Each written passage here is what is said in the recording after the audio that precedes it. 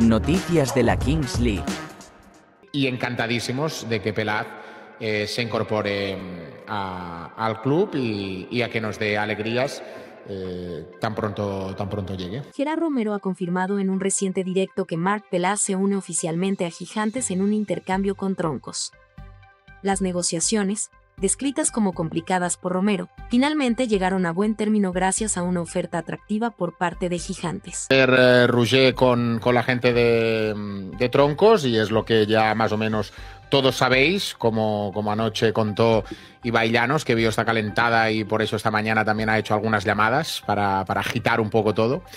Y, entonces, eh, pues hablamos de esto, ¿no? De estas cifras que estabais eh, dando Perchita, que, que Martí eh, se quedó un poquito ahí al límite. La oferta de Gigantes incluyó al jugador Litus Ferrer, una suma impresionante de 80 millones y su primera elección en el próximo draft.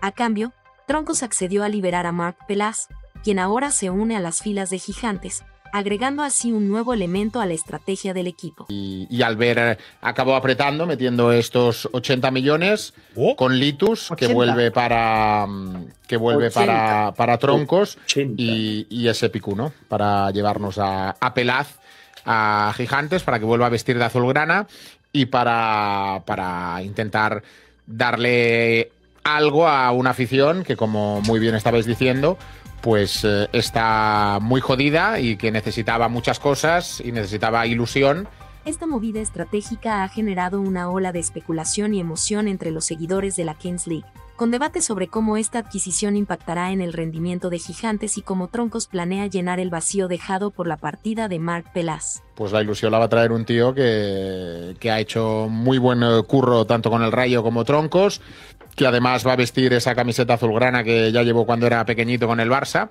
y que pues en estos últimos días también ha hablado mucho con Albert y he hablado un poquito con él y, le hacía mucha ilusión poder venir y encantadísimos de que Pelaz eh, se incorpore mm, al club y, y a que nos dé alegrías eh, tan pronto tan pronto llegue. ¿Qué opinas?